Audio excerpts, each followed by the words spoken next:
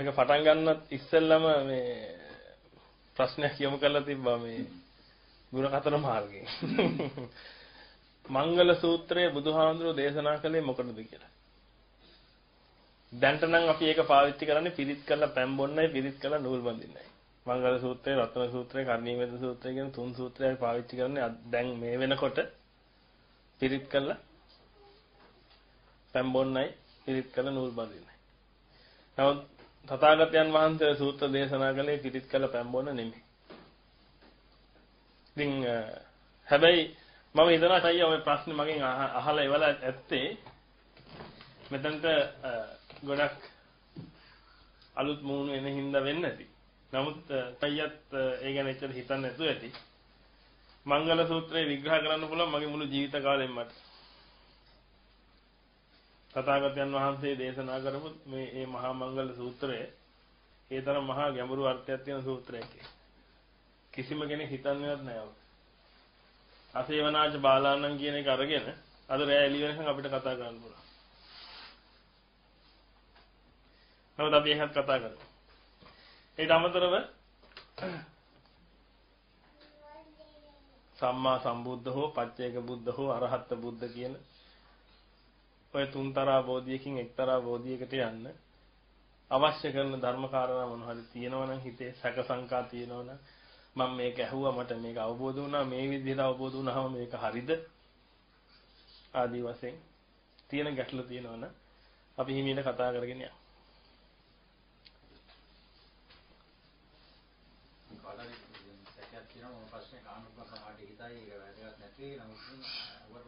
ප්‍රශ්නයක් නැහැ. මොකද මම ගිහි කෙනෙක් ඒක නිසා ඔබට ඕනේ ප්‍රශ්නයක් මගෙන් අහන්න පුළුවන්. සමහරවිට හාමුදුරුවෝ කෙනෙක් මෙතන ඉඳද්දි ඔබ ගොඩක් පැකිලෙනවා ප්‍රශ්න අහන්න. නේද? හාමුදුරුවෝ බණීද දන්නේ නැහැ. මම කාටවත් බයින්නේ ඔබට පුළුවන් ඕනේ ප්‍රශ්නයක් අහන්න. හැබැයි මේ අහන ප්‍රශ්න මම ඉල්ලීමක් කරනවා. ඔබ අහන ප්‍රශ්න තුල මෙතන ඉන්න පිරිසගේ රාගය ෂේ වෙනවා නම්, ද්වේෂය ෂේ වෙනවා නම්, මෝහය ෂේ වෙනවා නම් ඒකයි උතුම් වෙන්නේ. මොකද අපේ ජීවිතේ හදාගන්න නම් ගොඩාක් දේවල් ඔය මහාචාර්යවරුන්ගෙන් ගන්න පුළුවන්. නේද? ජීවිතේ හදාගන්නේ. නමුත් තථාගතයන් වහන්සේ ලෝකෙට පහළ වෙන්නේ විශේෂ වරමුණක් උදෙසා. ඉතින් ඔබ මේක අවස්ථාවක් කරගන්න අන්නේ විශේෂ වරමුණ ඉෂ්ට කරගන්න. මම ඔබට තේරුම් කරලා දෙන්නම් කාරණාවෙන් කාරණා ඔබ පටන් ගන්න. ඔබ අහන ප්‍රශ්නේ මම නිවැරදිව නිවැරදිව අනිත් අයට තේරුම් කරලා දෙන්න. නෑ ඔබ අහන ප්‍රශ්න තුල අනිත් අයට අවබෝධ කරගන්න පුළුවන් ධර්ම කාරණා තියෙනවා. මම කැමති ධර්මය අවබෝධ වෙච්ච පුද්ගලයෝ ඉන්නවා නම් ධර්මයේ ශ්‍රවණය කරපු පුද්ගලයෝ ඉන්නවා නම් ඒ අයට පුළුවන් සාර්ථක ප්‍රශ්න අහන්න. එතකොට ඔබ ප්‍රශ්නේ අහන්න ඕනේ ඔබට වඩා තහවුරු කර ගැනීම උදෙසා සහ අනිත් අන් අයට එකෙන් ලොකු උපකාරයක් වෙනවා කියලා බලාපොරොත්තු වෙනවා. ඔය එතකොට අපි මේක සාකච්ඡාවක් වඩපත් වෙන අපි කතා කරන්න පටන් ගන්නවා ඒ ගැන. මොකද අපි අලුතෙන් ආපු අයට ඒ අයට තියෙන ගැටලු විසඳ ගන්න අවස්ථාවක් උදා කරලා දෙන්න පුළුවන් නම් හොඳයි කියලා මට හිතෙනවා. මංගල සූත්‍රයේ කියලා තියෙන ධර්ම කරුණ බැලුවහම හැම ශාස්ත්‍රෝවේම කියව ඔය දේවල් කියලා තියෙනවා. නමුත් බුදු කෙනෙක් වෙනින් ශාස්ත්‍රෝවරන්ට වැඩිය වෙනස් දෙයක් පවසන්න බලාපොරොත්තු වෙන්නේ නැත්නම් තමයි මේ ලෝකෙට පහළ වෙන්නේ. මොකද මේ දීප පණිවිඩේ මංගල සූත්‍රය තුල? මොකද නැත්නම් මංගල කාරණා හැම දෙයක්ම? අනිත් ශාස්ත්‍රවරුන් ජේසුස් වහන්සේ මහානබිතුමා නැත්නම් ඊට ඉස්සෙල්ලා හිටපු Hindu කට්ටිය ඒ හැමෝම කියපු දෙයක්. නැත්නම් ඊට වැඩිය අලුත් දෙයක් කියන්නේ ඉදීමයි කියලා තියෙනවා. දැන් එතකොට මේ බුදුහාමුදුරුවෝ කියපු මංගල කාරණා වල ඊට වැඩි වෙනසක් නැද්ද? මොකද්ද බුදුහාමුදුරුවෝ මේ බුදු කෙනෙක් පහළ වුණා කියලා අපි සලකන්න අපට හැඟවිච්ච දෙයක් මෙතන තියෙනවා. මොකද්ද මේ පණිවිඩය බුදු කෙනෙක් පහළ වෙලා? හොඳයි. අපි එතනින් පටන් ගමු. මේ ලෝකෙට බුදුවරයෙක් පහළ වෙන්නේ ඇයි? ඔන්න ඔය ප්‍රශ්නේ ගන්න. ඇයි තථා දැන් අපි අහලා තියෙනවා සර් ඇල්බර්ට් අයින්ස්ටයින් ගැන සර් අයිසැක් නිව්ටන් ගැන. දැන් මේ අයත් මේ ලෝකෙට යම් යම් දේවල් ඉදිරිපත් කරපු අය. ඒ අය දෙයක් ඒගොල්ලන්ගේ ඥාන සම්පත්තියෙන් හොයාගෙන ඒක ලෝකෙට ඉදිරිපත් කළා. ඒගොල්ලොත් කළේ ඊළඟට තෝමස් අල්වා එඩිසන් නේද? මේ බල්බ් එක හොයාගෙන පොඩි උදව්වක්ද කළේ? නිකන් හිතලා බලන්න. ඈ අද නැත්තම් අපි ඔක්කොම කුප්පි ලාම්පුවක් පත්තු කරගෙන නේද? මේ ගෙවල් ගිනි අරගෙන නේද? මහ විශාල විශාල විපත්ති සිද්ධ වෙන්න පුළුවන්. නමුත් එතුමා ඒක හොයාගත්තා. එතකොට එතුමා එයාගේ ඥාන සම්පත්තිය පාවිච්චි කරලා අනිත් අයව දුකෙන් මුදව ගන්න. හැමතිස්සෙම ඔබ ඥාන සම්පත්තියට ලං වෙනකොට ඔබ ඥානයට ලං වෙන්න ලං වෙන්න ලං වෙන්න ලං වෙන්න වෙන්නේ ඔබ තුලින් අනිත් අයට අනිත් අයව දුකින් මුදවා ගන්න හේතු කාරණා ඉදිරිපත් වෙනවා. එතකොට තථාගතයන් වහන්සේලා මේ ලෝකෙට පහළ වෙන්නේ යම්කිසි ධර්මයක් දේශනා කරන්නේ. හැබැයි ඒ ධර්මය තථාගතයන් වහන්සේලාට විතරමයි දේශනා කරන්න පුළුවන්. අනෙක් කිසිම ශාස්ත්‍රවරයෙකුට ඒ ඒ ඒ සත්‍ය ධර්මයේ දේශනා කරන්න බෑ. ඒතකොට තථාගතයන් වහන්සේලා බිහි වෙන්නේ ඉස්සෙල්ලා බිහි වෙච්ච බෝධිසත්වවරු. ඒ කියන්නේ තථාගතත්වයට එන්නේ ඉස්සෙල්ලා බෝධිසත්වවරු මේ ලෝකෙට සත්බසක් දේශනා කරා. ඒ සත්පසේ කොටසක් තමයි මන්ත්‍ර ශාස්ත්‍රය. ඊළඟට ඔය ග්‍රහ ග්‍රහ ශාස්ත්‍ර ක්‍රම, හස්තරා ශාස්ත්‍ර ක්‍රම. ඔය ආදි වශයෙන් එන ඔය ඔය කියන ඔය විද්‍යාවන් ඔය සියල්ල බෝධිසත්වරු මේ ලෝකෙට ඉදිරිපත් කරපුවා. ඍෂිවරු වශයෙන් ලෝකෙ පිහිලා. ආයුර්වේද වෛද්‍ය විද්‍යාව. හිතනවා ආයුර්වේද වෛද්‍ය විද්‍යාව මිනිස්සුෙකුට කියන්න පුළුවන් දෙයක් කියලා. ඈ මේ ලෝකේ තියෙන සෑම ශාකයකම පස්පංගුව මොකක්ම හරි ලෙඩකට බෙහෙතක් කියලා ඈ කාටද හොයන්න පුළුවන්? කිසිම කෙනෙකුට පුළුවන්ද කියන්නේ ඒක? මේ ඍෂිවරු ලෝකෙට දුන්නේ. එතකොට මේ හැම ඍෂිවරයෙක් හෙවත් බෝධිසත්වරයෙක්ම මේ ලෝකෙට පහළ වුණේ අනිත් අය දුකින් මුදව ගන්න. යම් යම් ආකාරයෙන් දුකින් මුදව ගන්න. එතකොට තථාගතයන් වහන්සේලා මේ ලෝකෙට පහළ වෙන්නේ එකම එක අරමුණක් උදෙසා. ඒ අරමුණ තමයි මේ ලෝක සත්‍යව සදාහටම මේ දුකෙන් මුදව ගන්න. පුංචි දුකෙන් නෙමෙයි මහ දුකෙන් මුදව ගන්න. ඒකට තමයි තථාගතතුරු ලෝකේ පහළ වෙන්නේ. ඒක නිසා තමයි බුදුහාමුදුරුවෝ කියන්නේ නහි සීලේන වතං හෝතු. අට්ටක්කරා තීනිපදා සම්බුද්ධේන ප්‍රකාශිත. මේ තථාගතයන් වහන්සේලා ලෝකෙට පහළ වුණේ සීලයක් ගැනවත් වතක් ගැනවත් දේශනා කර කර ඉන්න නෙමෙයි. අට්ටක්කරා තීනිපදා අකුරු අටයි පද තුනයි අනිච්ච දුක්ඛ අනාත්ත කියන සංකල්පය මේ ලෝකෙට දීලා මේ ලෝකේ තියෙන ඇත්ත යථාර්ථය මිනිසුන්ට අවබෝධ කරලා දීලා මිනිසුන්ගේ මේ ලෝකෙන් මුදව ගන්න. එහෙමනම් තථාගතයන් වහන්සේ යම්කිසි ධර්මයක් දේශනා කළා නම් ඒක ඒ කාන්තෙන්ම නිවන මූලික විය යුතුමයි. නිවන මූලික නැත්තම් ඒ තථාගතයන් වහන්සේ දේශනා කරපු ධර්මයක් නෙමෙයි. අද අපිට තියෙන ලෞකික අර්ථ විතරයි ඔයයි. ඒකට හේතුව තමයි අනුරාධපුර යුගයේදී මොකද උනේ? අපේ සිංහල අටුව ඔක්කොටම ගිනි තිබ්බා. හත් දවසක් ගිනි ගත්තලු පොත්ගුල්. ඔක්කොම තිබ්බ සිංහල අටුව. එතකොට බුද්ධඝෝෂ හාමුදුරුවෝ අටුවා ලියන්න පටන් ගත්තා සිංහලෙන් ඊට පස්සේ. තථාගතයන් වහන්සේ කියන්නේ කවුද? රාගය ෂය කරපු, මෝහය ෂය කරපු, ද්වේෂය ෂය කරපු උත්තමේ. එතකොට රාගය, ද්වේෂය, මෝහය ෂය කරපු උත්තමෙක් දේශනා කළා නම් යම්කිසි භාෂාවකින් යම්කිසි ධර්මයක්. හද්ද පෘ탁ජන හාමුදුරු කෙනෙක් ඒක තවත් භාෂාවකට පරිවර්තනය කරන්න ඉස්සෙල්ලා ඒ හාමුදුරුවෝ ඒක තේරුම් ගන්න ඕනේද නැද්ද? ඒ ධර්මය. ඔන්න ඔතනයි අපිට වැරදුනේ. මිසක් මේ බුද්ධ ഘോഷ අටුවාචාරින් වහන්සේ මේ පාලියට කිසි දෙයක් කළේ නැහැ. උන්වහන්සේ කළේ මොකද්ද? අර පාලිය සිංහලට වර්ණගුවා. ඒ පාලිය පාලිය හේවත් පෙළදහම. අදටත් පෙළදහම හැමම තියෙනවා. පිරුවානා පොත් වහන්සේ නමක් ගත්තාම ඒකේ පෙළදහම හැමම තියෙනවා පින්වතුනි. ඒකට කිසිම වෙනසක් කළා නැහැ. නමුත් ප්‍රශ්නේ තියෙන්නේ ඔබ ඉංග්‍රීසි භාෂාව දන්න කෙනෙක් නම් ඔබ ඔය දන්න ඉංග්‍රීසි භාෂාව සිංහලට පෙරලන්න ගියොත් ඔබගේ ඔබ කරන රැකියාව අනුව ඔබ ලියන ටික වෙනස් වෙනවා. ඔබ දොස්තර කෙනෙක් නම් ඔබ ඉංජිනේරුවෙක් නම් එකම එකම ඉංග්‍රීසි මොනවා හරි ඡේදයක් දුන්නොත් සිංහලට පෙරලන්න කියලා. ඔය දෙන්න යූස් කරන වචන වෙනස් වෙන්නේ නැද්ද? ඔය දෙන්නට අරක කියවගෙන කියවගෙන යනකොට ඔය දෙන්නට තේරෙන එකම දෙයද වෙනස් දේවල්. වෙනස් දේවල්. ඔන්න ඕක තමයි අද අපිට උනේ. බුද්ධඝෝෂ අටුවාචාරින් වහන්සේ උන්වහන්සේට තේරෙන විදිහට ඔන්න ඔය ටික ඔක්කොම සිංහලට පරණගුවා. එදා පටන් අපේ හාමුදුරුවෝ ওই ටික දැන් අරගෙන එනවා. අද අපෙන් අහනවා මිනිස්සු ඇයි රහතන් වහන්සේලා මේ ලෝකෙට බිහි වෙනව අඩු කියලා. අරහත්ත්වයේ උදෙසා මහන්සි වෙන හාමුදුරුවෝ ඕනේ තරම් ඉන්නවා ලංකාවේ. නමුත් ප්‍රශ්නේ තියෙන්නේ මේකයි පෙළදහම පාලිය පෙළදහම සිංහලට පෙරලද්දී එතන වෙච්ච අඩුපාඩුකම් නිසා අද මිනිසුන්ට මේ ධර්මය අවබෝධ වෙන්නේ එදා මේ ධර්මයම මේ විදිහටම අවබෝධ කරපු අය තමයි මේ අවුරුදු දෙකේ අය. sorry මේ දෙක වසරේ. ඒ කියන්නේ අවුරුදු 7යි. සත් අවුරුදු සාමණේරවරු අරහත්ත්වයටපත් වුණා. මොකක් අහලාද? මේ සී සද්ධර්මයේ මහලා. නමුත් අද ප්‍රශ්නේ වෙලා තියෙන අවුරුදු 84ක් වෙනකන් ආච්චිම එක දිගටම බනහගෙන බනහගෙන බනහගෙන යනවා. නමුත් අරුම ධර්මයේ සෝතාපන්න මාර්ගයටවත් එන්නේ අරුම ධර්මයේ බෞද්ධයෙක්වත් වෙලා නැහැ. ඉස්සලම අවබෝධ කරගන්න තථාගතවරු මේ ලෝකෙට බිහි වෙන්නේයි කියලා. අන්න එතකොට ඊළඟට අවබෝධ කරගන්න මම බෞද්ධයෙක්ද කියලා. මම බුදුන් සරණ ගිහිල්ලාද කියලා. අපි හැමෝම ආසයි පිළිම වන්දනාවට. ලස්සන පිළිමයක් දැක්කොත් ඕක අපි කොහොම හරි ගෙදර ගෙනහලා උඩකින් තියාගෙන වඳිනවා. ඒක බොහොම හොඳයි පින්වතුනි.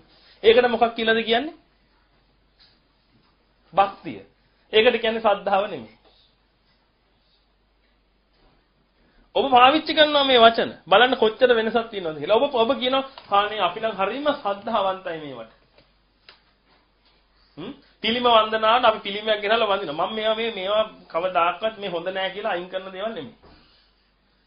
අද ඔබ මෙතනට ආවේ නොදැන ඉන්න දෙයක් දැනගන්න. ඒක නිසා මම කතා කරන්නේ. ඒ ගැන. හරිම වටිනවා මේ දේවල්. ඔබ තාම ඉන්නේ. මං ඔබ ඔබ කියලා කිව්වහම මේට වඩා එහා පැත්තෙන් මෙහා පැත්තෙන් ඉන්න පුළුවන්. ඒක නිසා මං හැමෝටම නෙමෙයි කියන්නේ අපි හිතමු කාට හරි මෙතන නැති අයට කියන්නේ. හරිද? right. මං ගැන කිසිම අහිතක් හිතන්න එපා. මම ඔබට බයිනව දොස් කියනව නෙමෙයි. ඔබ ගැන තියෙන අනුකම්පාවට ඔබට මා අවබෝධ කරගත ධර්මයක් තියෙනවා නම් අන්නේ ධර්මය ඔබට කියලා දෙන්නයි හදන්නේ. මා අවබෝධ කරගත්තා කියලා කියන්නේ මම අරහත්ත්වයටපත් වුණා කියන එක නෙමෙයි. මම අරහත්ත්වයටපත් වුණා නම් ඊට වඩා වෙනස් වෙයි. මම මේ කියන දේවලුත්. මම ඔබට තේරුම් කරලා දෙන්න හදන්නේ ඔබ මොනතරම් අනාථත්වයකටපත් වෙලාද ඉන්නේ කියලා. ඔබ කොච්චර අනාථද කියලා මම පෙන්වලා දෙන්නම් තව ටිකකින්. ඔන්න ඔය අනාථත්වයෙන් නිදහස් වෙන්න උදව් කරන්න. ඔබ තීරණය කරන්න මේ අනාථත්වයෙන් ඔබ නිදහස් වෙනවද නැද්ද කියන්නේ. මොකද මම ඔය අනාථ වෙච්ච උදවිය ධර්මයේ තුලිනුත් දැකලා තියෙනවා අත්දැකීම් වලිනුත් දැකලා තියෙනවා මරණයෙන් පස්සේ අනාථ වෙච්ච උදවිය මම ඔබට පෙන්වලා දෙන්නම් කාරණාවෙන් කාරණාව මම ඔබ කොච්චර අනාථත්වයටපත් වෙලාද කියලා. එතකොට පින්වතුනි දැන් හිතලා බලන්න මේ තථාගතයන් වහන්සේ මොකද්ද මේ සද්ධාව කියලා ඉදිරිපත් කළේ. ඔබට ඔබම හිතලා බලන්න ඔබට තියෙන සද්ධාවක්ද ඔබට තියෙන භක්තියක්ද කියලා. ඔබ ඔබ බුදුහාමුදුරුවන්ව දැකලා බුදුහාමුදුරුවන්ට වන්දනා කරලා බුදුහාමුදුරුවන්ට මල් පහන් පූජා කරනවා. පන්සල් වලට යනවා. බොහොම හොඳයි. මේවා නරක දේවල් නෙමෙයි. බොහොම හොඳයි. මිනී මරනවා, කසිප්පු පෙරනවා, අරක්කු බොනවා, කාමයේ වර්ධව හැසිරෙනවා. දැන් ඕවත් එක කම්පෙයාර් කරද්දී නේ අහසයි පොළොවයි වගේනේ. නේද? අරවා ගොඩාක් හොඳ දේවල්. දැන් අපි බලමු තව පොඩි ස්ටෙප් එකක් උඩට නගින්න. ඒ ස්ටෙප් එක තමයි ඔබ දැන් ඉන්නේ භක්තිය තුල ඔබ එන්න බලන සද්ධාවට. මොකද සද්ධා බීජක්. සද්ධාව තමයි බීජය. මේ නිවන් මාගේ පළවෙනිම තැන තමයි සද්ධාව. ඔබ තුල සද්ධාව ඇති කරගන්න මුලින්ම. ඒ සද්ධාව ඇති වෙනකොටම ඔබ බෞද්ධත්වයේ කරා ළඟා වෙනවා. සමහරවිට ඔබ හිතාගෙන ඇති බෞද්ධ කියලා මොකද උපැන්න දහත්තිගේ ආගමට දීප මොකක් කියලාද? බෞද්ධයි කියලා. ඔබ ඉස්සලා තේරුම් ගන්න බෞද්ධ කියන්නේ මොකද්ද කියලා. මම මේවා ඕනේ තරම් මේ ගෙදර කියලා ඇති. නමුත් මේ අහපු ප්‍රශ්න මේ මොකද තථාගතයන් වහන්සේ ඇයි ලෝකෙට පහළ වෙන්නේ කියන සංකල්පයට ආවට පස්සේ මුළු ඔක්කොම කතා කළත් මදි. එතකොට ඔබ හිතලා බලන්න මොකද්ද බෞද්ධත්වය කියන්නේ? බෞද්ධත්වය කියලා කියනකොට කෙනෙක් කියන්න බුලන් බෞද්ධයා කියන්නේ බුද්ධිමතා. නේද? එතකොට බෞද්ධයා කියන්නේ බුද්ධිමතා නම් සර් ඇල්බර්ට් අයින්ස්ටයින් කියන්නේ බෞද්ධයෙක් නෙමෙයි. සර් අයිසෙක් නිව්ටන් කියන්නේ බෞද්ධයෙක් නෙමෙයි. එතකොට ඒගොල්ලෝ බුද්ධිමත් නැද්ද? මේ ලෝකෙට පාවිච්චි ගණිතඥයෝ මේ දාර්ශනිකව බුද්ධිමත් නැද්ද? මොඩියෝද ඒගොල්ලෝ? කවුද ඒගොල්ලෝ බෞද්ධයෝ නෙමෙයි. ඔය බෞද්ධත්වය කියලා කියන්නේ පින්වතුනි මේ බෞද්ධ කියන නමේ තේරුම තමයි පද නිරුක්තිය ගත්තට පස්සේ බෞද්ධ කියලා කියන්නේ භවය උදුරලා දාන්න කැමති වෙච්ච කියන අර්ථය. භවය උදුරා දැමීමට කැමති වෙච්ච පිරිසට තමයි බෞද්ධ කියලා කියන්නේ. එතකොට මුස්ලිම් කෙනෙක් ගත්තොත් ක්‍රිස්තියානි කෙනෙක් ගත්තොත් එයාට මේ සත්‍ය අවබෝධ වුණාම නෙමෙයිද? අපි හිතමු ඔබව අයින් කරන්න ගන්න ක්‍රිස්තියානි කෙනෙක්. එතකොට එයා නිවන ගැන කිසි දෙයක් අහලා නැහැ. එයා ක්‍රිස්තියානි. නරක මිනිස්සු නෙමෙයි. ක්‍රිස්තියානි. එතකොට අපි එයාව ගමු මෙතනට. එයාව අරගෙන නිකන් හිතලා බලන්න. එයා දවසක තීරණය කරනවා මේ භවය මං උදුරලා දානවා. මේ නැවත නැවතත් මේ සංසාරේ සැරිසරන්න හේතු වෙන්නේ මෙන්න මේ භවය. භවය කියලා කියන්නේ උප්පත්තිය පිණිස කර්ම සකස් වීමට. මෙන්න මේ උප්පත්තිය පිණිස කර්ම සකස් වීම කියන එක මම නවත්තනවා. මේ භවය කියන එක මම සහ මුලින්ම උදුරලා දානවා. අන්නේ තැනට එයා එන්න නම් එයාට මොකද්ද වෙන්න ඕනේ? එයා මොකද්ද මොකක් නිසාද එයා එතනට එනවා නම් එන්න ඕනේ? මේ සද්ද ඔව් අසාරයි කියලා දැනුණාම හරි අසාරයි කියලා දැනෙන්නේ කොහොමද? මේ සද්ධර්මයේ ශ්‍රවණය වුණාම නේද? ඔව්ද නැද්ද? යේසුස් වහන්සේට වඳින කෙනෙක් ඉන්නවා. ඒ පිළිමෙත් මැටි. බුදුහාමුදුරන්ට වඳින කෙනෙක් ඉන්නවා. ඒ පිළිමෙත් මැටි.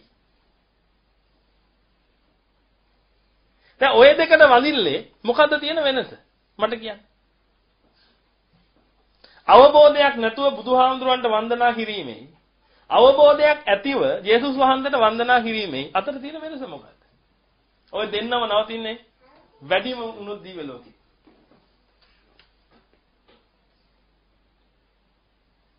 ඔය දෙන්නටම දිව්‍ය ලෝකේ යන්න පුළුවන්. එහෙනම් මොකද්ද බෞද්ධත්වයේ තියෙන විශේෂත්වය?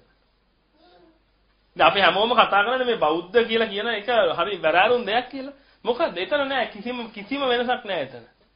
ඒකයි මම කියන අද බුද්ධ ආගම කියන එකයි ක්‍රිස්තියානි ආගම කියන එකයි ඉස්ලාම් ආගම කියන එකයි තුනම එකයි. බුදුහාමුදුරෝ දේශනා කරපු ඒ ෆිලොසොෆි එක සම්පූර්ණයෙන්ම ඊට වඩා වෙනස්.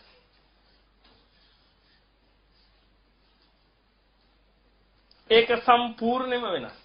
ඒක හා සම කරන්න කිසිම පුද්ගලයෙක් මේ ලෝකේ නැහැ. ඒක නිසා තමයි උන්වහන්සේ බුද්ධත්වයට පත්වන වෙලාවේ කිව්වේ මොකද්ද? ඒතම් භගවතා බාරාණසියන් ඉසිපතනේ මිගදායි. අනුත්තරං ධම්මචක්ක පවත්තිතං අප්පතිවත්තියන් සමනේනවා බ්‍රාහ්මනේනවා දේවේනවා මාරේනවා කේනසිවා ලෝකස්මින්තු.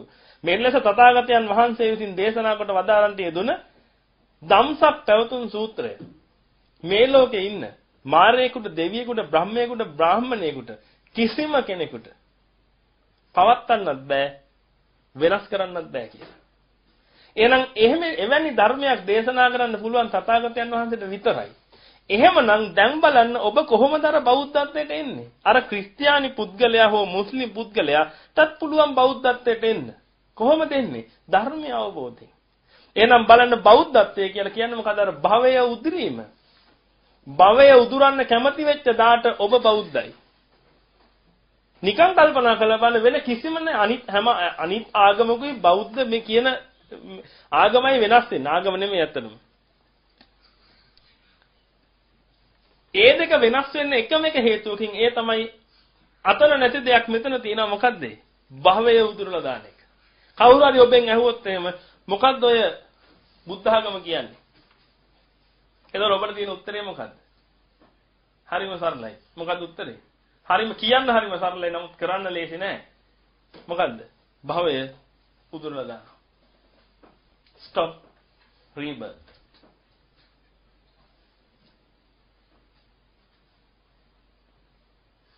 ඔන්න ඕක කරන විදිහ කියන්න තමයි බුදුරු මේ ලෝකෙට පහළ වෙන්නේ. අන්න ඒක අවබෝධ කරගන්න. ඔබ අද තථාගතයන් වහන්සේට වන්දනා කරනවා නම් හේතුවක් ඇතුව වන්දනා කරන්න. ඇයි ඔබ තථාගතයන් වහන්සේට වන්දනා කරන්නේ? ආච්චියම්ම වන්දනා කළා අපි දැක්කා. අපි ආච්චියම්මත් එක්ක වැන්දා. අම්මා වන්දනා කළා අපි දැක්කා අම්මාත් එක්ක අපි වැන්දා. ඒක නිසා අද අපිත් වන්දනා කරනවා. ඒක නෙමෙයි පින්වතුනි වෙන්න ඕනේ. ඔබ කවදා හරි දවසක ඔන්න ඔය භක්තිය අතහැරලා දාන්න. මොකද ඔය භක්තියයි දේව භක්තිය අතර කිසිම වෙනසක් නැහැ. මාත් එක අමනාප වෙන්න එපා මම මෙහෙම කිව්වට. ඔබ දෙවි කෙනෙකුට වැන්දනම් ඔయిత වඩා දේවල් තව ගන්නත් පුළුවන්. ඊට යක්ෂයෙකුට වැඳනම් ඔයිටත් වඩා දේවල් ගත්ත හැකි. ඔබ ඉල්ලන ඉල්ලන දේ කළා දෙයි. යක්ෂයෙකුට ওই විදිහට වඳින්න ගියොත් එහෙම. නමුත් ඔබ බුදුන්ට වැඳීමෙන් ඔබට ලැබෙන දේ හරි අඩුයි. ඇයි ඒ? ඔබ වඳින්නේ අවබෝධයෙන් නෙමෙයි. නමුත් ඔබ යම් දවසක අවබෝධයට ආවනම් ඒ අවබෝධයට ඇවිල්ලා ඔබගේ ඔය තියෙන භක්තිය සද්ධාවකට පෙරළුණා නම් අන්න එදාට මේ ලෝකේ කිසිම කෙනෙකුට ලැබෙන්නේ නැති තරම් දේවල් ඔබට ලැබෙන්න පටන් ගන්නවා. වස්තුකාමයේ නෙමෙයි. අපිට වස්තු ඕනේ දුකින් නිදහස් වෙන්න. හවුද නැද්ද? අපි දුක් විඳගෙන සල්ලි හම්බ කරන්නේ ඇයි? දුකින් නිදහස් වෙන්න නෙමෙයිද? මේ රටේ ඔබ සල්ලි හම්බ කරන්නේ නැත්නම් මේ මේ ගෙදර ලයිට් බිල ගෙවා ගන්න බැරුණොත් මොකද වෙන්නේ? ගෑස් බිල ගෙවා ගන්න බැරුණොත් මොකද වෙන්නේ? අන්ත දුක්ඛ පීඩාවකටපත් වෙන්න සිද්ධ වෙනවා. ඒක නිසා ඔබ මොකද කරන්නේ? දවල් දවසේ පුළුවන් තරම් මහන්සිලා සල්ලි හොයනවා. එහෙනම් ඔබ අමතක කරන්න එපා ඔබ සල්ලි මේ ලෝකේ ඉන්න හැමෝම සල්ලි හොයන්නේ දුකින් නිදහස් වෙන්න. පිළිගන්නවද නැද්ද? දුකෙන් නිදහස් වෙන්න. ඉතින් සතාගතයන් වහන්සේලා මොකද කරන්නේ? අන්නේ සහ මුලින්ම නිදහස් වෙන්න. සහ මුලින්ම දුකෙන් නිදහස් වෙන ක්‍රමයක් දේශනා කරනවා. ඒක නිසා උන්වහන්සේලා හා සම වෙන්න පුළුවන් තවත් ධර්මයක් මේ ලෝකේ නැහැ. එහෙමනම් ඔබ සද්ධාවකටපත් වෙනවා කියලා කියන්නේ ඔබ ධර්මයේ ශ්‍රවණය කරනවා. ධර්මයේ ශ්‍රවණය කරන්නේ නැතුව කවදාකවත් ඔබට අර භක්තියෙන් සද්ධාවට එන්න බෑ. එහෙනම් සද්ධාව කියන නමේ තේරුම තමයි විශ්වාසය. සද්ධාව කියලා කියන්නේ විශ්වාසයට. බුදුන් කෙරෙහි ඔබ විශ්වාසයක් තියන්නේ කොහොමද? උන්වහන්සේ කියපු කරපු ඔබ දන්නේ නැතුව. එක සූත්‍රයක් අරගෙන ඒකේ තේරුම ඔබට දැනෙච්ච විදිහට මම කියන්න කිව්වොත් එහෙම මෙතන ඉන්න අයට මගේ මම සමා වෙන්න. මම ඔබට දොස් කියනව නෙමෙයි. ඔබ යායසු තැනට ඔබව යවන්න හදනවා. යන නොයන එක ඔබගේ අතේ තියෙන්නේ. එක සූත්‍රයක් ඔබට තේරිච්ච විදිහට කියන්න පුළුවන් අය කීයෙන් කී දෙනාද මෙතන ඇත්තේ? නිකන් හිතලා බලන්න. එහෙමනම් ඔබ තුල කොහොමද සද්ධාව කියන එක පිහිටන්නේ? ඔබ කොහොමද බුදුහාමුදුරන්ව විශ්වාස කරන්නේ? ඔබ ධර්මයේ ශ්‍රවණය කරන්නේ නැතුව ඔබ කොහොමද ශ්‍රී සද්ධර්මයේ විශ්වාස කරන්නේ? ඒක නිසා තමයි අරහත්ත්වයටපත් වෙච්ච උත්තමයන්ට කියන්නේ අසද්ධා කියලා. අසද්ධා කියන්නේ ඇයි? සද්ධාව නැහැ එදාට. ඒ සද්ධාව නැහැ කියන කියන්නේ බුදුහාමුදුරන්ට මේ ගෞතම කියලා කතා කරනව නෙමෙයි. එහෙම අර වැරදියට එක්කෙනෙක් කතා කළා මතකද? ඔයා මට මේ සීඩි එකක් අහන්න දුන්නේ. රහතුන් වහන්සේ කියලා කතා කරන්නේ හාමුදුරන්ට රහත් වෙනවද නැද්ද කියලා අපි තර්ක කරන්න අවශ්‍ය නැහැ. නමුත් මුගලන් මහරහතන් වහන්සේට අර මොග්ගල්ලාන් අර මුගලනුයි සරියුතුයි මේ කාලේ හිටියේ කියලා ධර්මයේ දේශනා කරන මේ හාමුදුරුවෝ. ඒකෙන් පෙන්වන්න හදනවා මං අසද්ධා කියන தත්තෙට පැත්තලා කියලා. එතන අසද්ධා කියලා කියන්නේ පින්වතුනි අරහත්ත්වයටපත් වුණාට පස්සේ අසද්ධා. ඒ කියන්නේ සද්ධාාවක් නැහැ. ඇයි? විශ්වාසයක් අවශ්‍ය නැහැ එතකොට. පූර්ණ එකල ඉවරයි. ඔබ මේ එංගලන්තයට එන්නේ ඉස්සෙල්ලා මිනිස්සු කිව්වනේ එංගලන්තේ කියන රටක් තියෙනවා කියලා. එතකොට ඔබ විශ්වාස කළා ඒක. හවුද නැද්ද? ඔබ මේ රටට ඇවිල්ලා තාමත් විශ්වාස කරනවාද? ඒක නැත්තම් ප්‍රත්‍යක්ෂ වශයෙන් අවබෝධ කරගෙන තින්නේ. අවබෝධ කරගෙන. මේක අන්න ඒක තමයි වෙනස ඔය දෙකේ. එහෙනම් ඔබ මේ සද්ධාවේ ඉන්නවා කියලා කියන්නේ එතකොට සද්ධාව කියන එක ඔබ ඇති කරගෙන ඇති කරගෙන ඇති කරගෙන යනවා. ධර්මය අහන්න අහන්න අහන්න අහන්න සද්ධා වැඩි වෙනවා. ඒ වැඩි වෙලා ඔබ ඒක පූර්ණේ කරගෙන යනකොට මොකද වෙන්නේ? ඔබ පූර්ණේ කළා ඉහළම තැනට ගියාට පස්සේ ඔබට සද්ධාාවක් නැහැ එතනින් එහාට. පූර්ණ වශයෙන් අවබෝධයක් තියෙන්නේ. අරහත්ත්වයට පත්වෙද උත්මයේ තියෙන පූර්ණ වශයෙන් අවබෝධයක් පින්වතුනි. එහෙනම් අද ඔබ හිතලා බලන්න ඔය සද්ධා බීජය ඔබ අද වපුරන්න උත්සාහ කරා. අද ඔබ ශ්‍රී සද්ධර්මයේ ශ්‍රවණය කරන්න. ශ්‍රවණය කළා තථාගතයන් වහන්සේ මොකද්ද කිව්වේ? අන්න ඒක මම අද ඉඳලා ෆලෝ කරනවා කියන එක අවබෝධ කරගන්න. මම මේ මේකයි තථාගතයන් වහන්සේලා මේ ලෝකෙට පහළ වෙන්නේ අපි කෙරෙහි තියෙන අප්‍රමාණ අනුකම්පාවට. නැත්තම් අපේ බුදුහාමුදුරන්ට ඔච්චර දුක් විඳින්න ඕනේ නැහැ ඔක් කරගන්න. ඇයි ඒ? දීපංකර බුදුහාමුදුරුවෝ ගාව විවරණය ලබන වෙලාවේ බෝධිසත්ව වරයෙකුට විවරණ ලබන්න කාරණා 8ක් සම්පූර්ණ වෙන්න ඕනේ. ඔය කාරණා 8න් එකක් තමයි ඒ වෙලාවේ අරහත්ත්වයට වාසනාව තියෙන්න ඕනේ. ඒ වෙලාවේ උන්වහන්සේ අපි ගැන හිතන්නේ නැතුව උන්වහන්සේ ගැන විතරක් හිතලා නෑ මම මෙතනින් මේක ගොඩ දා ගන්නවා කියලා හිතුවනම් උන්වහන්සේට ඒ වෙලාවේ මක් කරගන්න තිබ්බද? අරහත්ත්වයටපත් වෙන්න තිබ්බා. එහෙම වුණා නම් ඔය පහු කාලේ ශාන්තිවාදී ජාතක එන විදිහ නායවල් කපලා කන් කපලා රාශියකින් කටවල වලට පැනලා සතුන්ට බිලි වෙලා ඈ ඔය ටික කරගන්නේ නැන්නේ. ඔය ටික කරගත්තේ කවුරු හින්දාද? කවුරු හින්දාද? අපි හින්දා. වෙන කවුරුත් හින්දා නෙමෙයි. එහෙනම් ඇයි ඔබට ඔබගේ ශාස්ත්‍රවරයා ගැන අවබෝධයට එන්න බැරි? ඇයි ඒ ශාස්ත්‍රවරයා මෙච්චර මහන්සියෙන් මේ ටික මේ මේ ටික ආවේ අපිට ඔය ඔය වෙන වෙන වල්වල් වලට අරන් කියලා දෙන්නද? සාමාන්‍ය ශාස්ත්‍රූවරයෙකුට කරන්න පුළුවන් දේවල් ටික අහගන්නද අපිට උන්වහන්සේ මේ ලෝකෙට බිහි වුනේ. ඒක නිසා තමයි පින්වතුනි මම කියන්නේ තථාගතයන් වහන්සේව හරියට අවබෝධ කරගන්න. ඔබ පුදුමාකාර පින්වත් මිනිස්සු. ඔබ මනුස්සාත්මයක් ලැබුවා. ඔබට ඇස් දෙක කන් දෙක ඔක්කොම නිරුපද්‍රිතව තියෙනවා. මොලෙත් හොඳට තියෙනවා. කියන දේවල් තේරෙනවා. මේ වෙලාවේ ඊළඟට තථාගතයන් වහන්සේලාගේ ධර්මය පවතිනවා. ඒ ධර්මය දැනගත්ත මිනිස්සු ඒ ධර්මය ප්‍රචාරය කරනවා. ධර්මය ඔබට කියලා දෙනවා කල්යාණ මිත්‍රයෝ වගේ ළඟ ඉඳගෙන. මේ වෙලාවේ ඔබ මේ මිනිස්සෙක් වෙලා ඉන්න පොඩිතරම් වාසනාවක් ඔබට තියෙනව නේද? ඔබ පොඩිතරම් පින්වන්තද? අමතක කරන්න එපා. ඔබ පින්වන්ත වෙලා තියෙන්නේ ඔන්න ওই ටික නිසා. නිසා ඔබට ලොකු ගෙවල් පහක් තියෙන හින්දා, ලොකු කාර් තුනක් තියෙන හින්දා නෙමෙයි. ඔබට හෙට පිළිකාවක් හැදුනොත් ඔය ඔක්කොම ටික වතුරේ.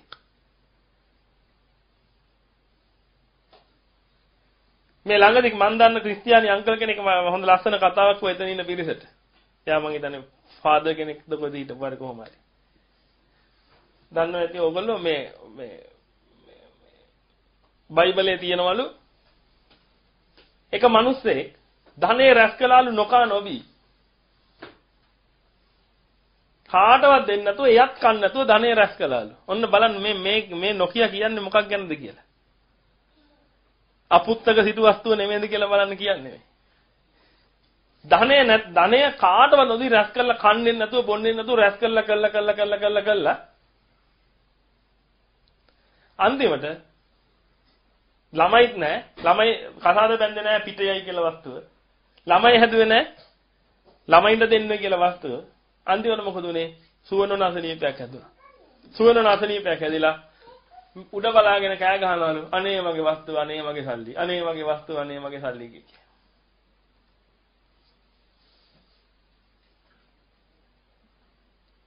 ওই ටික තමයි වෙන්නේ.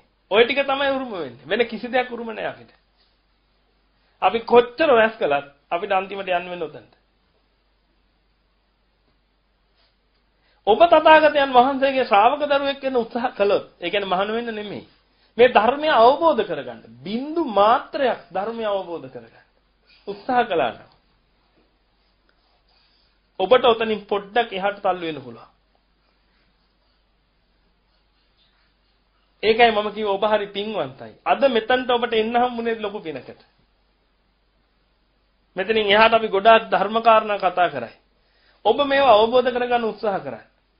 ආගම මොකක් වුණත් ප්‍රශ්නයක් නැහැ. ඔබ Hindu භක්තිකයෙක් වෙන්න පුළුවන්. කිසිම ප්‍රශ්නයක් නැහැ ඒකේ. ඔබ දෙවියන්ට වඳින්න. මේ ධර්මය මොකද ඔබ ඔබ Hindu භක්තිකයෙක් කියලා ඔබ ෆිසික්ස් ඉගෙන ගත්තේ නැද්ද? ඈ? ඒකත් දර්ශනයක් නේ. නේද?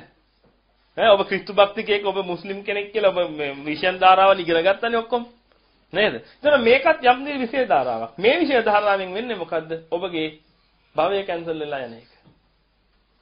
ඒ කියන්නේ ඔබ සදාහටම දුකින් නිදහස් වෙන එක. ඒක නිසා අද පටන් අපි උත්සාහ කරමු බෞද්ධ වෙන්න. ඒ කියන්නේ අපි කැමැත්තක් ඇති කරගන්න ඕනේ අපි බෞද්ධත්වයට ළඟා වෙනවා කියලා. ඔන්න ඔය බෞද්ධත්වයට ළඟා වෙනවා කියලා කැමැත්ත ඇති කරගන්න ඕනේ ඇයි? අන්න ඒකයි ඊළඟ ප්‍රශ්නේ. මොකටද මේ දැන් කෙනෙකුට හිතෙන්න පුළුවන් මට හොඳ ගියක් තියෙනවා. ඈ මට වාහන තුනක් තියෙනවා. මට හොඳ බිස්නස් එකක් තියෙනවා. මට දරුවෝ ඉන්නවා. ඒ දරුවන්ටත් දැන් හරුයි. ඈ මොකටද මේ දුකේ නිදහස් වෙන්නේ මේ පිස්සුවටද? කියලා කෙනෙකුට හිතෙන්න පුළුවන්. නමුත් පින්වතුනි, ඕකේ තියෙන ඇත්ත හරිය හිතලා බලන්න. ඔබට පුළුවන් ද ඔබ සතු කිසිම වස්තුවක් ඔබ වශයෙන් පවත්වාගෙන යන්න. එක වස්තුවක් යන ඔබ වශයෙන් පවත්වාගෙන ඉන්න පුළුවන්. ඔය වටේ තියෙන ඔක්කොම අතහැරලා දාලා ගන්න තමන්ගේ ශරීරය ඇති අන්න. උපදිච්ච දවසේ අද වෙනකන් තමන්ගේ ළඟම හිටියේ ඕකනේ. ඔය ශරීරේ. ඔබ ඔබ උපදිනකොට ඔබට අත මේ අතට නවන්න පුළුවන්. ඔබට පුළුවන් අත මේ අතට නවන්න. අනිත් පැත්තට. හිතලා බලන්න. මොකද්ද තමන් වශයෙන් පවත්වන්න පුළුවන් එක වස්තුවක් කියන්නේ? ඔය කෙස්සල් එක නවත්ත ගන්න පුළුවන්ද? තව ටික කලක් කියලා. ඔය දත් හැරෙන එක නවත්ත ගන්න පුළුවන්ද? ඔය හැම රැලි වෙන එක නවත්ත ගන්න පුළුවන්ද? මේ කිසිම දෙයක් අපි වශයෙන් පවත්වන්න බෑ. ඔය ටික අවබෝධ වෙන්න අවුරුදු 65 70ට ගියොත් ඔබ මොකද වුනේ? ඔබ පෙරදුනා. ඔබ එක මංගල කාරණාවක් අනුගමනය කළේ නැහැ. මොකද්ද? කාලේන ධම්ම සාකච්ඡා. නැත්නම් අප්පමාදේන ධම්මේසු. ඔබට අවුරුදු 70 80 වෙනකොට ඔබට ඔය කිසි දෙයක් කරගන්න බෑ. ඔබට මේවා අවබෝධ කරගන්න බෑ. කියන ඒවා හරියට තේරෙන්නේ නැහැ. ශාරීරික වේදනාව වැඩි. පවත්වාගෙන යන්න බෑ. ශරීරය එක විදිහකට තියාගෙන ඉන්න බෑ ඒක පැයක්. ඔය කිසි දෙයකට බැරුව යනවා. එහෙනම් අද තමයි ඔබට මේකට හොඳම මාර්ගය. ඔබ තරුණ නම් තවත් හොඳයි. තරුණ කාලේ තමයි මේ දේ පටන් ගත යුත්තේ. මේ දේ පටන් ගන්නවා කියලා කියන්නේ පින්වතුනි කවදාකවත් හිතන්න එපා තමන්ගේ දියුණුවට අදාළ වෙයි කියලා. තමන්ගේ දියුණුව නැති වෙයි කියලා. කවදාකවත් තමන්ගේ දියුණුව නැති වෙන්නේ නැහැ මේවා කළාට. මේක අවබෝධයෙන් කරන්න. මං කිව්වේ නෑනේ කාටවත් මේක බනගත වෙන්න කියලා. මං කිව්වේ නෑනේ කාටවත් කියලා මහාන වෙන්න කියලා. මම කියන්නේ මේ විශ්වයේ තියෙන ඇත්ත ස්වභාවය තේරුම් ගන්න. අපිට මේ ලෝකේ තියෙන කිසිම දෙයක් අපි වසඟේ පවත්වන්න බෑ. අන්න ඒක කියන්න තමයි බුදුහාමුදුරුවෝ මේ ලෝකෙට ආවේ මුලින්ම. අට්ඨක්කරා තීනි පදා සම්බුද්ධේන ප්‍රකාශිතා. මොකද අකුරු අටයි පද තුන අනිච්ච දුක්ඛ අනත්ත. ඔන්න ඔය තුන ගැන දේශනා කරන්නයි උන්වහන්සේ මේ ලෝකෙට ආවේ. මොකද අනිච්ච කියන්නේ? මොකද්ද අනිච්ච කියන්නේ? අපි අහලා තියෙන ත්‍රිලක්ෂණය කියලා කියන ධම්පසල ගියා අහලා තියෙන අනිච්ච කියන්නේ අනේ අපි අහලා තියෙන අනිච්ච දුක්ඛ අනාත්ත කියලා අහලා තියෙන අනිත්‍ය දුක්ඛ දුක් අනිත්‍ය දුක අනාත්ම කියලා අහලා තියෙනවා නේද? ආදි වශයෙන් ගොඩක් දේවල් අපි අහලා තියෙනවා. මොකද්ද පිටුදින අනිච්ච කියන්නේ? මේ බලන්න විවාහාරයේ පවතින අනිත්‍යතාවය කියලා කියන්නේ විවාහාරයේ පවතින ඕක අනිත්‍යයි කියලා. නමුත් පිටුදින ඕක අනිත්‍ය නෙමෙයි. ඕක අනිත්‍ය අනිච්ච අනිච්ච කියලා කියන්නේ ඉච්ච නෑ කියන එක. ඉච්ච කියලා කියන්නේ මොකද්ද? කැමැත්තට කියන එක. අනිච්ච කියලා කියන්නේ කැමැත්තට නැති බව. ඒ කියන්නේ මේ ලෝකේ පවතින කිසිම වස්තුවක් අපේ වසඟේ පවත්වගෙන යන්න බෑ. අපේ කැමැත්තට නෑ. යද නිච්ඡං තන් දුක්ඛං. යමක් අනිච්ච නම් ඒක දුකයි. අද ඔබගේ ජීවිතේ ඔබට මතක ඇති දවසක ඉඳලා අද මේ දක්වා යම්කිසි දුකක් ඇති වුණා නම් ඔබට ඔය දුකට හේතුව තමන් වසඟේ පවත්ව ගන්න බැරි වීම නෙමෙයිද? හිතලා බලන්න. තමන්ට කැමති විදියට තිබිච්ච නැතිවීම නෙමෙයිද? විභාගෙට A එකක් බලාපොරොත්තු වෙන් හිටියා B එකක් ආවේ. ඇඬුවේ නැද්ද? කැම්පස් යන බලාපොරොත්තු විතර යන්න බැරුණා විභාග ෆේල් වුණා එළුවේ නැද්ද? ඇයි බලාපොරොත්තු තමන් තමන් බලාපොරොත්තු වෙච්ච දේ නෙමෙයි උනේ. දරුවා කැම්පස් එකේ ගිහින් ඉතින් හිටිය ගියේ නැහැ. දැන් මොකද උනේ? දෙමාපිය දරුණු දුකකටපත් වෙනවා. දරුවව මේ ලෝකෙන ලොකුම සල්ලිකාරට බන්දලා දෙන්න ඕනි කියලා හිතාගෙන හිටියා බන්දලා දුන්නා. දැන් මොකද උනේ? සතුටේ. හවුද නේද? අන්න බලන්න. තමන් තමන්ගේ කැමැත්ත තමන්ගේ කැමැත්තට අනුව මේ දේවල් සිද්ධ වෙනවා නම් තමන් හරි කැමතියි. තමන් සතුටටපත් වෙනවා. එහෙම නොවෙනෝ නම් තමන් දුකයි. ඒක නිසා තමයි උන්වහන්සේ කියන්නේ යද නිච්ඡන් තන් දුක්ඛං යමක් අනිච්ච නම් ඒක දුකයි. ඔය අනිත්‍ය කියන වචනේ උතන්ට පාවිච්චි කරන්න එපා පින්වතුනි. අනිච්ච කියන වචනේ තේරුම තමන්ගේ වශයෙන් පවතින්න බෑ කියන දේ. අන්න එතකොට හරි ලේසි මේ ධර්මයේ ග්‍රහණය කරගන්න. එතකොට තමන්ගේ වශයෙන් පවත්වා ගන්න බැරි නිසා. දැන් නිකන් හිතන්න. අනිත්‍ය වෙනකොට දුකයි නං. දැන් අනිත්‍ය වෙනකොට දුකයි කියලා නේ කියන්නේ. අනිත්‍ය වෙනකොට දුකයි නං. ඒ කියන්නේ ස්ථිර නැති වෙනකොට දුකයි කියන්නේ. නේද? ස්ථිර නැති වෙනකොට දුකයි නං. ඔය ප්‍රභාකරන්ගේ මරණේ ප්‍රභාකරන් ස්ථිර වුණානන්ද දුක අස්ථිර වුණානන්ද දුක.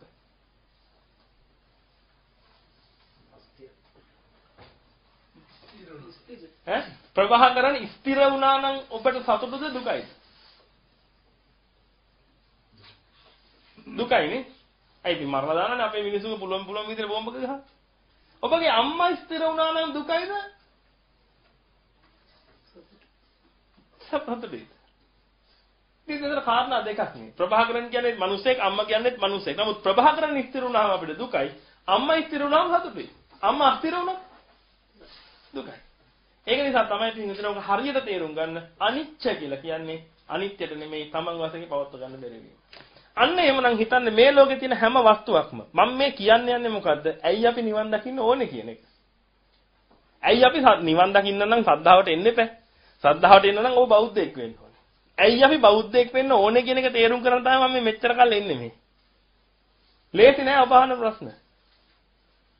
ඇයි අපි බෞද්ධයෙක් වෙන්න ඕනේ? නැත්තම් තේරුමක් නෑනේ බෞද්ධයෙක් කියලා. නැත්නම් අර මාර්යාගේ තියෙන සංකල්පෙට එනවනේ අපිත්. නේද? මේ මෙච්චර හොඳට තියෙන ලෝකේ මේ මොන මගුලටද මේ ශ්‍රමණයා කියන්නේ මේ මේ එක. මාර්යාගේ සංකල්පය ඒකනේ. වසවර්ති මාර දිව්‍ය පුත්‍රයා කියන්නේ මේ මිනිසුන්ට හරි ආදරේ වසවර්ති මාර්යා. බුදුහාමුදුරුවොත් එක තරහයි. ඇයි මේ මෙච්චර මේ හොඳ සැප පහසුකම් තියෙන මේ මේ වගේ ලෝකෙක මේ මොකටද මේ මිනිසුන්ට නිවන් දකින්න කියන්නේ මේ පිස්සා. අන්න එහෙම මතයක් තමයි යාගේ තියෙන්නේ. එතන ඔබටත් ඒ මතේ නම් තියෙන ඔබ කවදාකවත් උතන්ට එන්නේ නැහනේ. ඔබට දැනෙනවා නම් ගොඩාක් සැප පහසුයි කියලා මේ ලෝකේ. ඒක හරි. සැප පහසු දේවලුත් මේ ලෝකේ තියෙනවා. නමුත් ඕක තුල හැංගි වෙච්ච මහා ගිනි ජාලාවක් තියෙන ඔබ පිච්චෙන. ඔබටවත් ඒක තේරෙන්නේ නැහැ. අන්න ඒක තේරුම් ගත්තොත් අපි ඔන්න ඔය අනිත්‍යතාවයේ තේරුම් ගත්ත වෙනවා. ඔය අනිත්‍යතාවයේ තේරුම් ගත්තා නම් අන්න එතකොට අපිට ඇති වෙනවා දුක කියන එක. අන්නේ දුක කියන එකද එතනින් නිදහස් වෙන්න අපි උත්සාහ කරනවා ඊට පස්සේ. දැන් ඔබ තේරුම් ගන්න ඕනේ කාරණාව තමයි මේ ලෝකේ පවතින හැම වස්තුවක්ම අපි වසඟේ පවත්වන්න බෑ. ඔබට පුළුවන් නම් ඔබ වසඟේ පවත්වන්න පුළුවන් එකම එක දෙයක්. අන්නේ දේ මට කියන්න. කීය දීලා හරි මාත් ගන්නවා. ඔබට කිසිම දෙයක් හොයාගන්න බෑ. ඔබ දුකට දුකට දුකට දුකටපත් වෙන එකමයි වෙන්නේ මුළු ජීවිත කාලෙම. අන්න එතනට ගියා. දැන් අනිත්‍ය ස්වභාවය අවබෝධ කරගත්තා. එහෙනම් මේ ලෝකේ අපි විසගේ පවත්වන්න බැරි හැම දෙයක්ම අනිත්‍යයි. ඒ වගේම ඒක නිසා අපි හැමදෙස්සෙම දුකටපත් වෙනවා. ඔන්න ඔක තේරුම් ගන්න ඊළඟට. එහෙනම් දුකටපත් කරන දෙයක් මේ ලෝකේ තියෙනවා නම් ඔය දේ සාරද අසාරද? ඔබව නිරන්තරයෙන්ම දුකටපත් කරන දේවල් මේ ලෝකේ තියෙනවා. ඔබ ඒක සාරත්වයෙන් බදා ගන්නවද? නැත්නම් අසාරයි කියලා අයින් කරනවද? ඔබව නිරන්තරයෙන්ම දුකටපත් කරන දෙයක් ඔබ සාරයි කියලා ලං කරගනීද කවදාද? ඔන්න ඔබ නිස්සාරයි කියලා අයින් කළා. නිස්සාරයි කියලා අයින් කළා. ඔන්න ඔය තුනට ඔබ ආවනම් ඔන්න ඔබ බෞද්ධත්වයේ කරා ළඟා වුණා. ඔය තුන හරියාකාරව අවබෝධ වුණා නෙමෙයි. දැක්කා. ඔය ඔය තුන ඇහුවා. අහනකොට අවබෝධ වුණා යම් දෙයක්.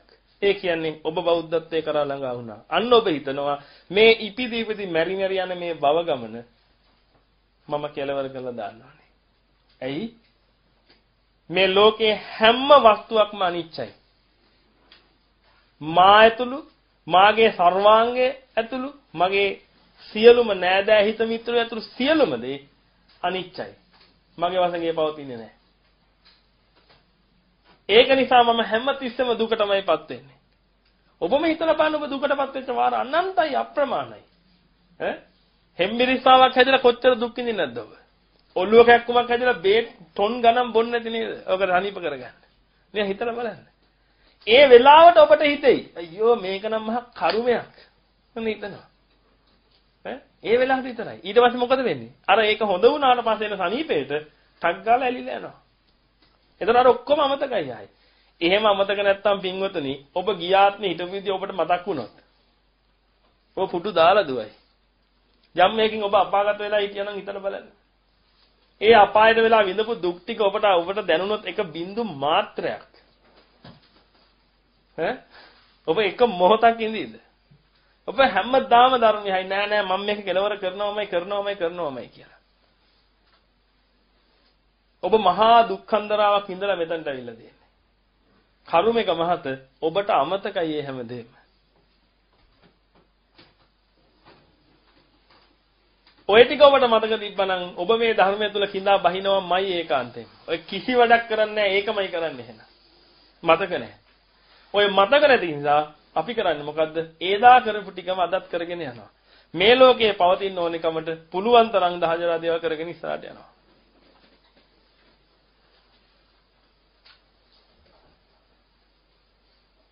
එහෙමනම් පින්වතුනි ඔන්න ඔය බෞද්ධත්වයේ කරා එන්න උත්සාහ කරන්න. ඔය බෞද්ධත්වයේ කරා එනවා කියලා කියන්නේ ඔබ සද්ධාවට ආවා. ඔබ සද්ධාවට ආවට පස්සේ අන්න එතනින් එහාට. ඒ කියන්නේ ඔබ සද්ධාවට එන්න නම් ඔබ ධර්මය අහලා තියෙන්නම ඕනේ. අන්න ඔබ සද්ධාවට ආවා. සද්ධා බීජං. අන්න ඔබ දැන් සද්ධාව නැමැති බීජය ඔබ කල කරගත්තා. දැන් ඔබ දන්නවා ඇයි ඔබ නිවන් දකින්න ඕනේ කියලා. නිවන් දකින්න ඕනේ ඔන්න අනිත්‍ය දුක්ඛ අනාත්ම ස්වභාවය මේ ලෝකේ පවතින නිසා. මේ ලෝකේ පවතින කිසිම දෙයක් සාර නැති නිසා. ඔක අවබෝධ කරගන්න. මේ වචන මාත්‍ර විතරයි ඔබට මේ ඇහෙන්නේ. ඔක මේ අනිත්‍යයි දුකයි අනාත්මයි කියවට තේරෙන්නේ නැහැ. අනාත්ම සංකල්පය බුදුහාමුදුරෝ දේශනා කළේ නැහැ කොහෙවත්. ඔය හදාගත්තුවා. අනාත්ම කියලා සංකල්පයක් නැහැ. බුදුහාමුදුරෝ ආත්ම කිව්වෙත් නැහැ. අනාත්ම කිව්වෙත් නැහැ. ආත්ම කිව්වොත් සාස්වතවාදයට වැටෙනවා. සාස්වත දෘෂ්ටියට. අනාත්මයි කිව්වොත් උච්චත දෘෂ්ටියට වැටෙනවා. බුදුහාමුදුරෝ කිව්ව දෙකටම නැහැ. එහෙම එහෙම එකක් ගැන කතා කරන්න එපා කියලා. එහෙම එකක් නැහැ. ආත්මවත් නැහැ අනාත්මත් නැහැ. එහෙම එකක් නෙමෙයි මෙතන තියෙන්නේ කියලා. අසාරත්වය. ඔන්න ඔබ අසාරත්වය අවබෝධ කරගත්තා. ওই අසාරත්වය ඔබට අවබෝධ වෙන්න වෙන්න වෙන්න වෙන්න ඔන්න ඔබට හිතෙනවා නෑ මම මෙතනින් අයින් වෙන්න ඕනේ. නැත්තම් මෙහෙම ගියා ගියා ගියා ගියා මරණයෙන් පස්සේ තව මොකෙක් හරි වුණා. බල්ලෙක්, බලලෙක්, බූරුවෙක්, හරකෙක් එහෙම නැත්නම් පෙරේතෙක් මල පෙරේතෙක් කුම්බාණ්ඩෙක් එහෙම නැත්නම් දෙවි කෙනෙක් බ්‍රහ්මෙක් වුණා. ආයි ඔන්න කාලයක් තිස්සේ ඒ ඒ ජීවිතේ ගත කළා ආයි මැරිලා ආයි කොහෙද ගියා. එක්ක අපායෙ ගිහලා අවුරුදු කෝටි ප්‍රකෝටි ගණන් දුක් විඳලා එනවා. ඉතින් ওই ටික තමයි මේ කරන්නේ. දැන් තමයි ඔබට chance එක ඇවිල්ලා තියෙන ඔය වලල්ලෙන් මිදෙන්න. ඇයි? ඔබ ඉපදුනා මිනිස්සෙක් කියලා ඔබට ඇස්කන්නාස් ටික තියෙනවා ඔබට අවබෝධ වෙනවා ඔබ මන්ද බුද්ධිගත නැහැ ඔබ බෞද්ධ. ඒක නිසා ඔබට කිසිම ප්‍රශ්නයක්වත් නැහැ. තර්කයක් නැහැ. නෑ අපේ ශාස්ත්‍රවරයා තමයි ඇත්ත කිව්වේ. බුදුහාමුදුරුවෝ බොරු කිව්වේ කී කිය තර්ක කරන්න අවස්ථාවක් නැහැ. ඇයි? ඔබ බෞද්ධ වෙලා උපැන්න සාධකේ බෞද්ධ. ඒක තර්කයක් නැතුව ඔබට පිළිගන්නත් පුළුවන්. මේ වෙලාවේ තථාගත ශාසනය ලෝකේ පවතිනවා. ඔබ හිතනවා තව අවුරුදු 300කින් 500කින් පස්සේ තථාගත ශාසනය ලෝකේ තියෙයි කියලා. සෑමින්ගදනේ ඊළඟ ඔබ පිංක ඔබ ඔබ අපි පිං කරනවා. ඔබ පුළුවන් තරම් පිං කරනවා මිනිස්සෙක් වෙන්න කියලා. හරි? ඔබ ඊළඟ ආත්මේ මිනිස්සෙක් වෙනවා. ඒ මිනිස්සෙක් වෙනකොට මොකද වෙන්නේ? මේ තථාගත ශාසනය ලෝකේ නැහැ. එතකොට මේ ලෝකේ ඉන්නේ කවුද? එතකොට ඔබ මුලින්ම දූෂණය වෙන්නේ ඔබගේ තාත්තා අතින්. එතකොට ඔබට ඉපදිලා තා අවුරුදු 3යි. ඔබ දූෂණය වෙනකොට. ආ. ඔය අනාගතේ වෙන දේවල් මේ ලෝකෙට. හ්ම්? අවුරුදු 15 වෙනකොට ඔබ මැරිලා. ඇයි? එක්ක එක්ක මොකක් හරි පරමාණු බෝම්බයක් ඇල්ලලා කුඩු වෙලා ගිහිල්ලා. නේද? තථාගත ශාසනයත් ලෝකේ නැහැ. ඒක ඔබ මොකද්ද ප්‍රාර්ථනා කරන්නේ ඉස්සරහට? ඔන්නක අවබෝධ කරගන්න බින්දුනේ මේ වෙලාවේ තමයි හොඳම chance එක තියෙන්නේ මේක අවබෝධ කරගන්නවා නම් ඔබට. මේ chance එකත් ඔබ මිස් කරගත්තොත් අපි තරම් මොඩිය තවත් මේ ලෝකේ නැහැ. ඒකමයි මේ කියන්නේ. තථාගතයන් වහන්සේලා ලෝකෙට පහළ වෙන්නේ ඔන්න ඔය ටික කියන්න. මිනිසුනේ මේ ටික කරගනින්න. අනුකම්පාව උන්වහන්සේට තියෙන්නේ. ඒතර උන්වහන්සේ මෙච්චර කාලයක් දුක් විඳේ. සා අවුරුද්දක් දුෂ්කර ක්‍රියා කළා. කවුරු වෙනේද? උන්වහන්සේ වෙනුවෙන්ද? ඔබ හිතන්න එපා බුදුහාමුදුරන්ට මේ බොහොම ගරු සැලකිලි සම්මාන තිබ්බා කියලා ඒ කාලේ. හ්ම්? බුදුහාමුදුරුවෝ තරම් නිന്ദා අපහාස ඉන්නේ නැහැ කිසිම කෙනෙක්. කවුරු වෙනුවෙන්ද? මිනිස්සු වෙනුවෙන්නේ. වෙන කවුරුත් වෙන්නේ මිනිස්සු වෙනුවෙන්. නැත්තම් උන්වහන්සේ බුද්ධත්වයටපත් වුණා. උන්වහන්සේට පිරිනුවම් පාන්න පුළුවන් ඒ වෙලාවෙම ඕන. උන්වහන්සේ එහෙම කළේ නැහනේ. මිනිස්සු වෙනුවෙන් මේ ධර්මයේ දේශනා කළා. මොකද්ද ධර්මයේ නිවන් අවබෝධ කරගනින්න කියලා මිසක් ඔන්න මම මංගල සූත්‍රය දේශනා කළා. දැන් උඹලා මෙතනින් පටන් පිරිත් කියපල්ලා පිරිත් කියලා කියලා කියලා කියලා කියලා මොකද කරන්නේ? ඈ පිරිත් නූල් බැඳගනින්න වතුර බීපල්ලා. ඈ අර ආඳුරු කෙනෙක්ගේ ෂර්ට් එක කියනනලු කෙනෙක් පිරිත් කරන්න කියලා. ඒ ඒ තත්ත්වෙට දැන් ඇවිල්ලා තියෙන්නේ.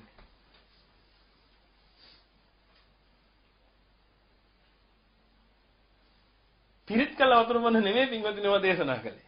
ඔය හරියර්ථය දන්නවනම් ඔබ නිවන් දකින්න ඒ තුලින්ම. ඒකයි කියන්නේ සතාගතයන් වහන්සේ යම් ධර්මයක් දේශනා කළා නම් ඒක ඒකාන්තයෙන්ම නිවන මූලිකයි. වෙන කිසි දෙයක් නැහැ එතන. ඒක නිසා තමයි මහා ප්‍රජාපති ගෝතමී මේ රහත් තෙරණිය බුදුහාඳුරන්ගෙන් ගිහිලා ප්‍රශ්නයක් ඇහුවා. ස්වාමීනි භාග්‍යවතුන් වහන්සේ. ඔබ වහන්සේ ජීවතුන් අතර ඉඳද්දී ඔබ වහන්සේගේ සමහර ශ්‍රාවකයෝ ඔබ වහන්සේ දේශනා කරපු ධර්මයේ දේශනා නොකරපු ලෙස දේශනා නොකරපු ධර්මයේ දේශනා කරපු ලෙසත් කියනවා හැමදැනම ගිහිල්ලා. ඒ කියන්නේ ඒ ඒගොල්ලන්ගේ මතවාද ප්‍රකාශ කරනවා. මෙහෙම ගියොත් එහෙම ඔබ වහන්සේගෙන් පස්සේ මේ ශාසනය ඉතුරු වෙන එකක් නැහැනේ. ඒ කාලේ අනාගතයේ පහළ වෙන මිනිස්සු කොහොමද මේ ධර්මය අවබෝධ කරගන්නේ? ඔබ වහන්සේ දේශනා කරපු එකක් කියලා කොහොමද තේරුම් ගන්නේ කියලා. ඒ වෙලාවේ බුදුහාමුදුරුවෝ කියනවා ඒක කිසි ප්‍රශ්නයක් නැහැ. යම් කිසි ධර්මයක් ශ්‍රවණය වෙනකොට රාගය ඡය වෙනවා නම්, ద్వේෂය ඡය වෙනවා නම්, මෝහය ඡය වෙනවා නම් අන්න ඒක මං දේශනා කරපු ධර්මයක්. ඔය තුන සිද්ධ වෙන්නේ නැත්නම් ඒක මම දේශනා කරපු ධර්මයක් නෙමෙයි කියලා. එහෙනම් හිතලා බලන්න පින්වතුනි අද ඔබ මේ ඔබට තේරෙන කාලෙක ඉඳන් අද මේ වෙනකන් අහපු ධර්ම ධර්ම ටික ගත්තොත් එහෙනම්. ඔගෙන් කීයෙන් කීයද ඔය තුන ෂේ වෙන ධර්මයේ තියෙන්නේ. රාගක්ඛයෝ නිබ්බානං, ද්වේෂක්ඛයෝ නිබ්බානං, මෝහක්ඛයෝ නිබ්බානං. ඔන්න ඔතනයි තියෙන්නේ නිවන. රාගය, ද්වේෂය, මොහය ෂේ වෙන තැන තමයි නිවන. එහෙනම් තථාගතයන් වහන්සේගේ ධර්මය නම් ඔබ ශ්‍රවණය කරනකොට ඒකාන්තයෙන් ඔබේ රාගය ෂේ වෙන්න ඕනේ. ඒකාන්තයෙන් ඔබේ ද්වේෂය ෂේ වෙන්න ඕනේ. ඒකාන්තයෙන් ඔබේ මෝහය ෂේ වෙමින් යන්න ඕනේ. අන්න එහෙනම් ඒක තථාගතයන් වහන්සේගේ ධර්මයක්. ඔන්න ඔතනින් අඳුරගන්න තථාගතයන් වහන්සේගේ ධර්මය කියන්නේ මොකක්ද කියලා. සුනාත ධාරේත චරාත ධම්මේ අහන්න දරන්න ධර්මයේ හැසිරෙන්න